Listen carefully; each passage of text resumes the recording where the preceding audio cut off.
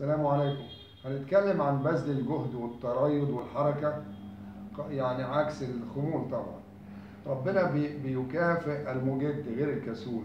فتلاقيه يأكل بشهية وينام بسهولة ومقاومته عالية جدا للأمراض وجهازه المناعي أقوى. وجد من ضمن المزايا لما واحد يبذل الجهد زي العدائين اللي بيجروا. بعد حوالي 15 دقيقة قد تصل ل 20 وده في اختلافات بين الأفراد الجسم بيبدأ ينتج مادة تخفف الألم اللي هيحصل في العضلات اسمها الإندروفين. بتقلل الإحساس بالألم وبتدي إحساس بالراحة. ففي جينات مقفولة مقفولة عليها كفر طبعا وده نهج الجينات في جسمنا. ما بتتفتحش وتفعل وتشتغل وتديني المواد اللي أنا عايزها إلا ببذل الجهد الاسترس اللي بيحصل على الخلايا وبيعلي درجة الحرارة لو بتبذل جهد زيادة قوي فبتتفتح جينات تطلع لي مجموعة خطيرة جدا من البروتينات اسمها heat shock proteins وأرقامها 60 70 90 أنا هقول فايدتين في غاية الأهمية بتأديها هذه البروتينات. نمرة واحد تستطيع إنها تنتزع ببتيد الببتيد ده يعني حمضين امينيين وبينهم رابطة يعني علامة للميكروب. كل ميكروب له ببتيدات تميزه. بيبدأ ينتزع هذا الببتيد بيعرضه على خلايا ب في الجهاز المناعي عشان يفصل أجسام مناعية تضاد هذا الميكروب بصفة خاصة. وبالتالي المقاومة بتبقى عالية جدا. وأنا ليا تجربة شخصيه يعني قبل حرب أكتوبر بشهور أو أكثر يعني كنت في تدريب لمدة أسبوع وجهد عالي جدا ومعظم الليل والنهار منقوعين في مية مية بملح مية عادية مية بطين. المهم مع الجهد العالي جدا في نهاية الأسبوع وفي شهر يعني يعتبر في الشتاء. ركبونا عربيات مكشوفة وجسمنا مبلول بهدومنا من فوق لتحت ومشيت قرابة ال 100 كيلو بسرعة وفوجئت محدش فينا لا اتزكم ولا كح ولا حصل له أي حاجة.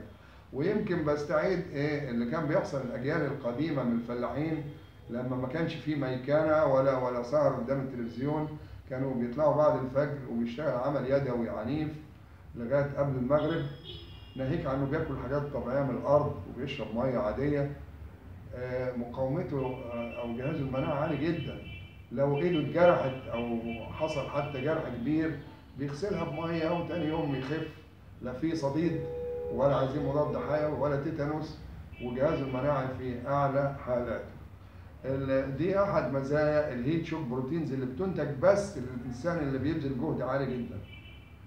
في ميزة تانية هامة جدا بس لازم نعرف الأول إن الجسم كان يعتقد أنه بينتج 80 ألف نوع من البروتينات في سنة 2000 النهارده الرقم عدى 300 ألف. دي حاجات هامة جدا لحياة الإنسان.